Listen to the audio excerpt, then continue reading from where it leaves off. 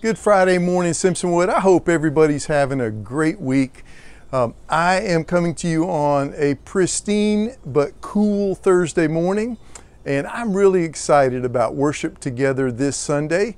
It's all about watching the weather or our weather together collectively. It'll all make sense as we dive into a story in Mark's Gospel where the disciples, afraid of the elements, encountering uh, the God who calls them to faith and calls them close in a miracle. Uh, we are also, for outdoor worship, we are watching the weather closely. I know there's a chance for rain on Sunday, so if if outdoor worship needs to be postponed for this Sunday, we will let you know by 8 o'clock on Sunday morning. But if not, I hope that you'll be able to be there. That experience has been rich together, even through some of our cooler days. Have a great week.